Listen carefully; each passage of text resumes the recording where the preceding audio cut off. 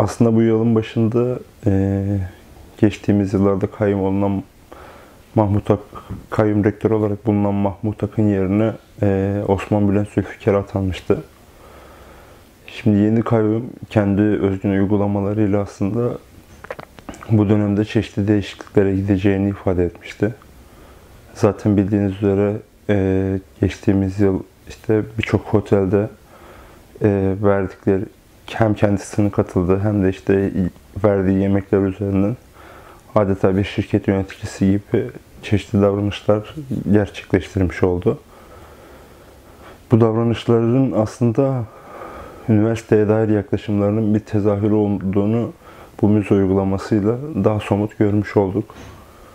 Özellikle e, hani halkın olan İstanbul Üniversitesi gibi Türkiye'deki ilk üniversitelerden birisi olan bir üniversitenin e, müze olarak bir ticarethane gibi e, halkın giriş çıkışına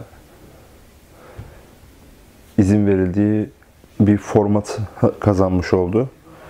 Biliyorsunuz Türkiye'de birçok aslında tarihi eser ya da birçok tarihi yer özellikle İstanbul'daki turizm e, yoğunluğunu da düşündüğümüzde sanki turistik bir yermiş gibi e, para karşılığında gezilebilecek bir yer statüsünde e, ele alınıyor. İstanbul Üniversitesi de aslında bu statüde ele alınmaya çalışılıyor.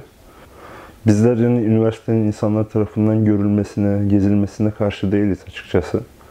Aksine gerçekten üniversitenin halkın erişebileceği bir yer olması gerektiğini düşünüyoruz. Ancak e, rektörlüğün burayı bir ticarethane olarak ele alıp e, bir ticaret para karşılığı gezilen bir yer olarak e, göstermesine karşıyız. Yani bu anlamda okulun ticarethane olmadığını, üniversitelerin piyasaya bu denli açılmaması gerek, piyasaya açılmaması gerektiğini, esas da halkın gelip gö göre görebileceği, oradaki eğitim sürecine doğrudan ya da dolaylı olarak katılabileceği bir yer olarak görmekle birlikte üniversitenin bu şekilde bir ticarethane olarak ele alınmasına karşıyız. Özellikle devletin yani 2015'ten bu yana üniversitelere giriş çıkışına dair getirdikleri yasaklar, işte bazı üniversitelerdeki tur, turnike uygulamaları öğrenciler açısından e, ya da halk açısından üniversitelerin erişilemez bir yer olduğunu düşündürmeye başladı. Üniversitelere giriş çıkışlar e, çeşitli zorluklar çıkartılarak engellenmeye başladı. Bu esas da öğrencilerin, devrimci demokrat öğrencilerin yürüttükleri mücadeleleri bastırmak adına devletin geliştirdiği bir uygulamaydı. Sonuçta üniversiteyi sadece bir mekan olarak düşünmek doğru olmaz. Öğrencilerin doğrudan yaşam alanının da olduğu bir alan olduğu için buranın bizler de aslında bir meta olarak değerlendirilip bizlerin doğrudan yaşam alanı olan bir şeyin e, para karşılığında ya da e, doğrudan rektörlüğün izne tabi tutularak giriş çıkışa açılmasını doğru bulmuyoruz.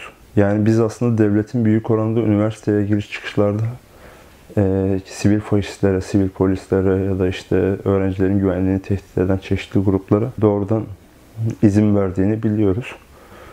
Yani tamamıyla keyfi devrimci öğrencilere yasak olan e, okula giriş çıkışların söz konusu faşistler olduğunu, alabildiğine geniş sınırlara sahip olduğunu geçtiğimiz yıllarda bolca tanık olduk. Özellikle cihatçı çetelerin, işte sivil faşist çetelerin İstanbul Üniversitesi'ndeki devrimci demokrat öğrencileri ya da kadınları, LGBT artıları hedef alan saldırıları olmuştu çokça.